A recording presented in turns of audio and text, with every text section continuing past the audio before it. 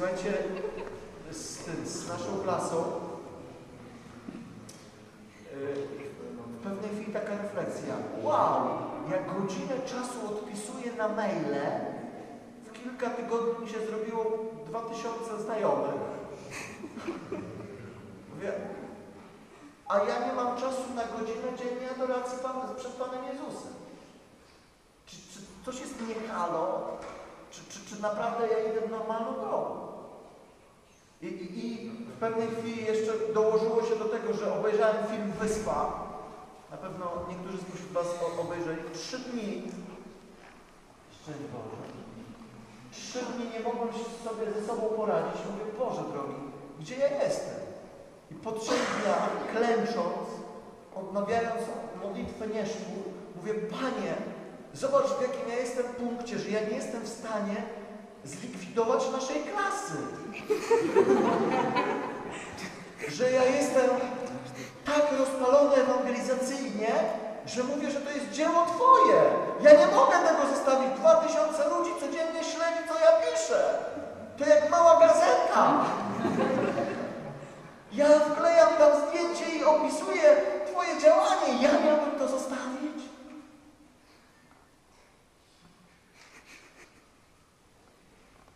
I w przerażeniu mówię, nie dam rady. Proszę Cię o Twoje słowo. Po nieszporach otworzyłem Pismo Święte, zdając się całkowicie na niego. I przeczytałem ze Starego Testamentu, z jednej książki. Oczywiście nie było tam napisane wprost, co zrobić z naszą klasą.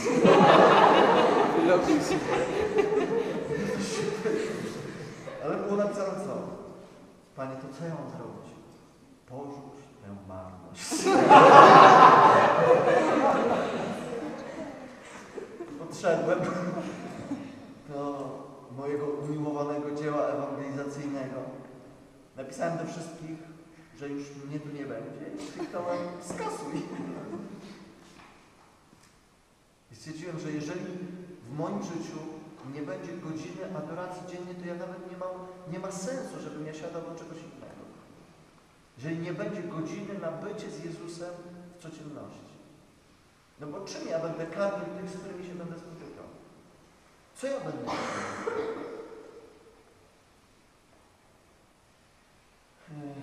Nie wiem, czy to znajdę w tym momencie, bo zakreśliłem kilka różnych rzeczy. Pan Bóg z reguły przywiązuje swoją łaskę do modlitwy. E, Z reguły.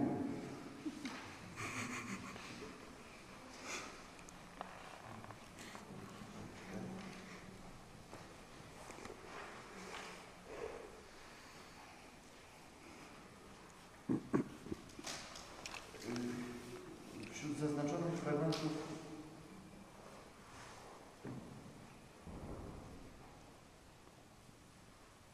Nie znajdę tego teraz, uciekł mi gdzieś, ale obiecuję Wam, że y, z- znajdę, sparafrazuję go teraz. Jeden ze świętych powiedział tak, dokładnie Jose Maria Escriva, tylko chciałem go przytoczyć do, dokładnie. Y, On, on powiedział, że y, on nie wierzy tym ludziom, którzy są tak zapracowani, i mówią, że mają tyle do zrobienia, że nie mają czasu na modlitwę. Że takie apostolstwo po prostu jest fałszywym apostolstwem. Że on i on daje, że on nie da się poprowadzić takiemu człowiekowi. Jest to zrozumiałe, no bo jak dać się prowadzić człowiekowi, który sam nie daje się poprowadzić? Ja na przykład boję się, boję się takich spowiedników, czy takich kierowników duchowych, którzy za mnie chcą podejmować decyzje. Decyzje. Którzy za mnie chcą rodzić coś, z czym ja jeszcze chodzę w ciąży. Którzy chcą przyspieszyć pokój.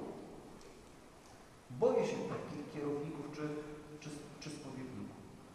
Dlatego, że Prawdziwy kierownik czy spowiednik, on dojrzewa ze mną w tym procesie modlitwy, procesie właśnie odkrywania woli Pana Boga, do tego, żeby objawiło się to, co się ma objawić. Żeby dojrzeć do tego, do czego ja mam dojrzeć. No i zresztą no, dlatego też taki prawdziwy kierownik duchowy, czy też spowiednik nigdy za nas nie urodzi niczego, nie podejmie decyzji. Zawsze zostawi nam decyzję, wolność. Modlitwa nieustająca.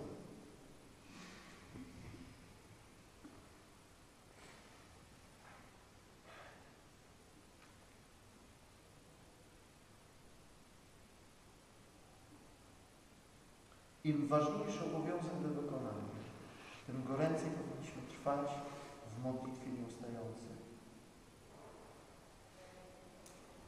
Tym silniej musimy sięgnąć po Boże błogosławieństwo. Modlitwa nieustająca, modlitwa odmawiana bez pociechy, lecz odmawiana sumiennie, ma tym większą zasługę, aniżeli modlitwy w pociechach i w uniesieniu ducha.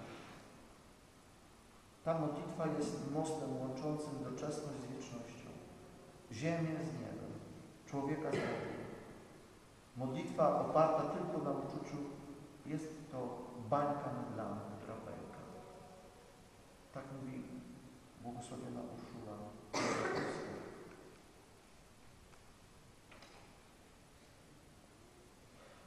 Mam cały czas, e, kiedy mówię Wam o tym, dwa doświadczenia przed oczami. Pierwsze to y, doświadczenie, y, jednym zdaniem Wam tylko powiem, z pierwszej mojej ewangelizacji, kiedy byłem całkowicie bezradny i kiedy nie wiedziałam totalnie, co mam robić i tylko klęczałem przed Panem Bogiem. Tylko klęczałem przez godzinę czasu. Chociaż nic generalnie w czasie tej modlitwy się nie zdarzyło nadzwyczajnego, doświadczenie moje było, to doświadczenie dało mi tyle mocy, by podjąć decyzję, co mam robić, że nie potrzebowałem nic. Dziękuję Bogu za to, że te pierwsze doświadczenie było inne od kolejnych. Dlatego, że kolejne doświadczenie, kiedy ja już to powtarzałem, to Pan Bóg mnie zaskakiwał kolejny raz, kiedy klęczałem na przykład godzinę i mówiłem, Panie, ja nie mam pomysłu na to, jak grupę poprowadzić pielgrzymkową, której mam być przewodnikiem. Nie mam pomysłu od najprostszych rzeczy. Panie, proszę Cię o, o jakieś światło, jak ma znaczek chociażby pielgrzymkowy wyglądać. I słuchajcie, godzinę klęczę i po tej godzinie uświadamiam sobie, uświadamiam właściwie, ja mogę mówić, że uświadamiam sobie, Pan daje świadomość, Pan uświadamia człowiekowi, że przede mną leży obrazek, ikona Trójcy Przenajświętszej. I po godzinie czasu ja go zaczynam widzieć. Rozumiecie, o co tu chodzi? Nie wie Boże, człowiek musi być taki ślepy? Żeby godzinę czekać, żeby, no, no zobacz, czy bardziej wyraźnie